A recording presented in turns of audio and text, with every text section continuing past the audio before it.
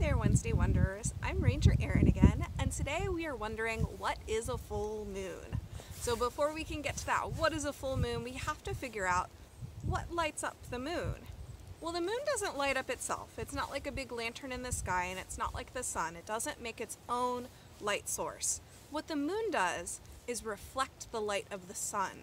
So it is a big rock, round rock that orbits around the Earth. And when it faces the sun, it's going to reflect the light of the sun back onto the Earth. So when we have a full moon, it means that our sun, our Earth, and our moon are all lined up perfectly. And that way the sun is hitting the, the face of the moon that is facing towards the Earth. So we see that one side lit up completely. So this is one part of what we call a lunar phase. And that lunar phase is how that moon changes from a full moon when it's completely lit up to a new moon when it's completely dark. So again, when we have that full moon, we're all lined up, sun, earth, moon. But when that moon is orbiting around the earth and we have that new moon, what happens is that we've got sun, moon, Earth. And that means that the side of the moon that's getting lit up is facing the sun and not facing the Earth. So a lunar phase takes about 29 to 30 days. And that's almost a month, which is pretty cool. You can think about our months usually only have one full moon a month. So our last full moon uh, is November 30th. That's called the beaver moon. And our next full moon is going to be on December 29th and that's going to be called the cold moon. Tonight, if you choose to go outside and check out the moon, it's going to look almost full, but it is going to be missing a little sliver on the side. And each night it's going to get a little bit smaller and a little bit smaller and a little bit smaller until we reach that new moon. And this means that our moon is waning. It's getting smaller each night. Once we hit that new moon, it's going to be getting a little bit bigger and a little bit bigger and a little bit bigger until we reach that uh, full moon, that cold moon in December. And that means that the moon is going to be waxing at that point. It's going to be growing bigger. The cool thing about our full moons is that they are some of our busiest nights. So you can imagine for nocturnal animals, sight might not be that important, but they're definitely going to take advantage of all that extra light because on a full moon night, that sky is going to be lit up and it's going to be a little bit easier for all of those nocturnal animals to get around and find the things that they need. On the other hand, on those new moon nights, those are going to be the darkest nights. Those are going to be the best nights for going to spot stars, but they're going to be the least busy nights for our nocturnal animals. For your outdoor activity, I'm going to ask you to go out at night and go moon gazing. So if you're looking at a full moon, I want you to notice how big and how bright everything is lit up by that full moon. And if it's not a full moon, then I want you to try and notice what shape you're looking at. So do you see a little sliver of black on one end or the other end that makes it not a complete circle in the sky? And then if you're out on a night like me, like I am out tonight, so I tried to be out here on the full moon night. There is a full moon out here, but unfortunately there's also a snowstorm going on out here, so I can't really see the moon. But even with that cloud cover, it's still pretty bright out here, and I can kind of see that there's a, a bunch of owls that are being active in the area that are using that light to go hunting. For an indoor craft, we're gonna make a moving moon that's going to be able to both wax and wane. You'll have that full moon on there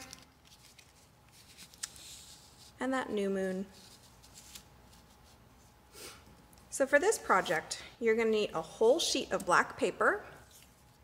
I've already got all of my shapes cut out you're to need a couple of strips of black paper. One is going to be almost as long as the long way and one is going to be uh, just a little bit short of the short way. You're going to need two circles, one black and one white. I actually made that black circle just a little bit bigger than the white circle, so you can see that. And I just traced a cup, the bottom of a cup. And then I used a couple of triangles on the ends for those pull tabs on either side. So like I said, I've already got everything cut out. For your black paper, what I want you to do is I want you to make one long strip down the middle, and you're probably gonna need to ask for help from an adult because you're gonna need to use an X-Acto knife. So I've already got it cut out. Make sure you're cutting on top of something because that blade will go right through. So you're gonna have one long strip, but it's still gonna be connected to the paper. And then starting with our moon, we're gonna attach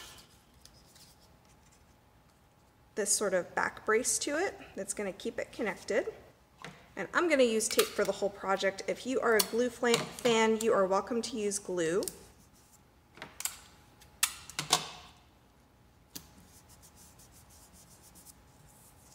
So I'm just kind of making an X.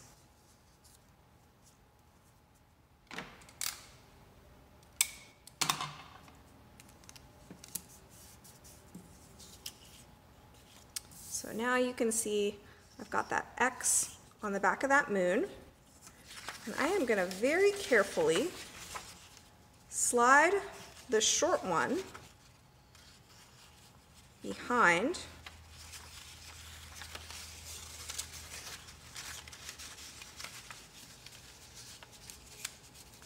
while keeping that long one out on top. Now I've got that moon that can slide from side to side. I'm going to go ahead and attach the pull tabs on either side.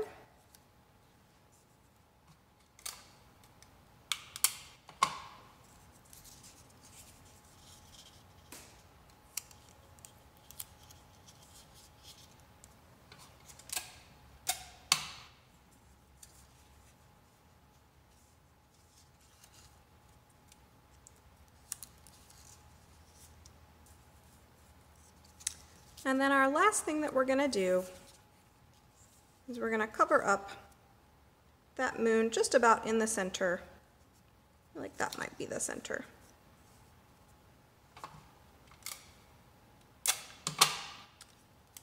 So I'm going to really carefully tape this in a loop.